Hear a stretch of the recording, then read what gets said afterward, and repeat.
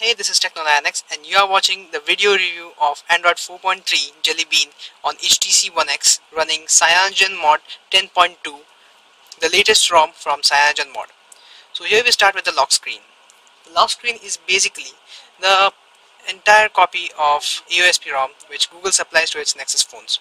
You can see there are there are all the traditional home screens available on the lock screen. The when you swipe from, when you swipe to the right of the lock screen you get the traditional um, camera um, screen and on the left you get various home screens. Here you can see I have set up a home screen of Player Pro widget. On left you swipe again and then you get an option to add more widgets to the screen. So here I'm we try up with this widget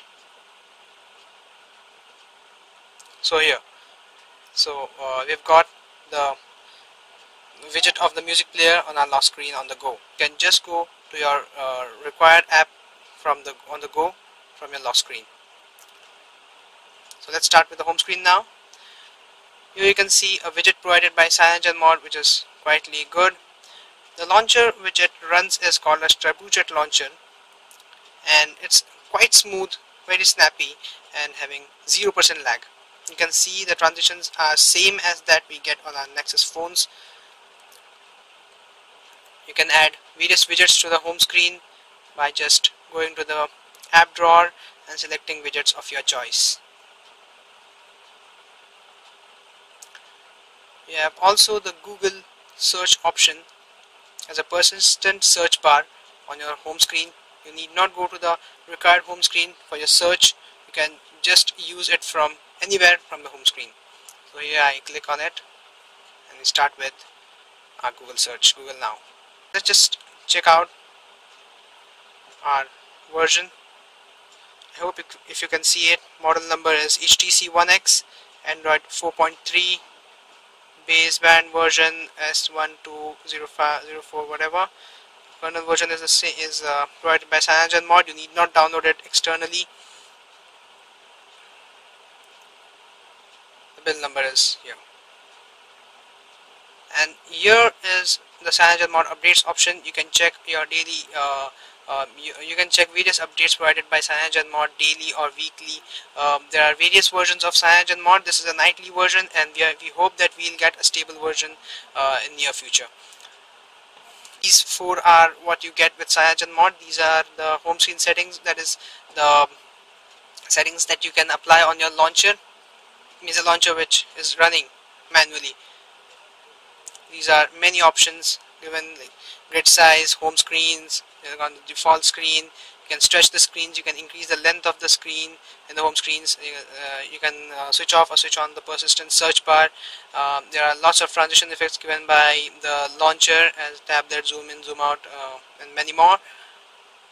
Uh, you can also uh, set on or set off the scrolling of wallpaper behind um, you can choose the wallpaper size and uh, show outlines. You can show outlines on the home screen. And fade screen means while swiping you can see the home screen fading off. So if you can see it you can see the fading effect and the outlines coming along with the swiping of the screen. So this is what the settings available for home screen now let's get back.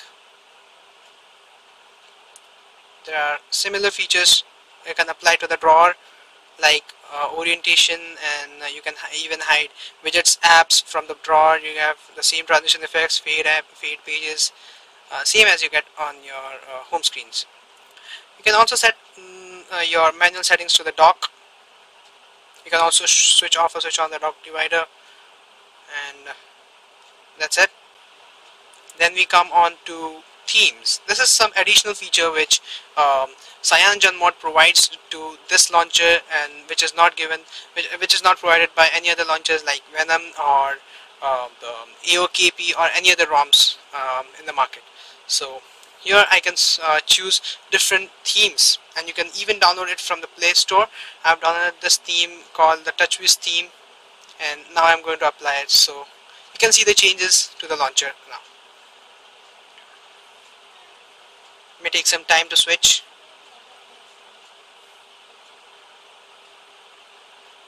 So yeah you you can see how different the settings uh, menu looks right now. And you can also see the notification drawer has changed drastically.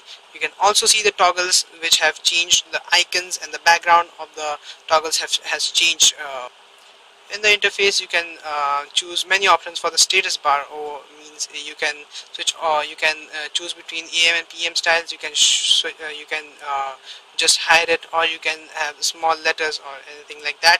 You can also switch the battery status option with a circle or a circle with percentage and uh, many more. In the quick settings panel you can switch this thing on and you can just swipe from the right to directly get your settings panel you need not you need not uh, go to the um, status bar and then uh, click on the button. You just need to pull the notification bar from the right and then you have it. There are many more and you can even add or you can add tiles to the notification bar small features like this it's quite fast and uh, without any lag you can see uh, what Android has tried to give on its Nexus phones with Android 4.3 uh, it has just improved the framework and the uh, frames of the, of the uh, software. Uh, there are small updates to the camera given. The applications the options come like an arc on the screen there's no much difference uh, the from the previous one but yeah it's quite good. CyanogenMod provides you with this music player that is Apollo music player which is quite good. It has albums artist and a recent played playlist which is quite a uh, handful to use and it's on the go. The calendar is the same as what we get on uh, uh, what we get on our Google Play Store. You can switch between uh, day or week or monthly calendar as you want as you prefer. Calculator is the same but here you can see it's a nightly version so we can't switch on the calculator. The clock is the same as what we get previously having three tabs. The dialer is the same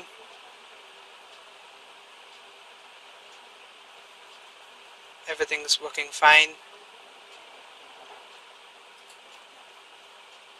Quite good.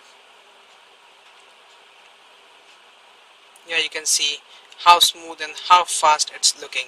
The gallery app hasn't been updated much but the frames of the app has have been improved significantly. This is it guys. Uh, this was a review of CyanogenMod 10.2 running Android 4.3 Jelly Bean OS um, if you like this video please click thumbs up and uh, subscribe the channel for more videos. Hope to see you in the next video. Thanks once again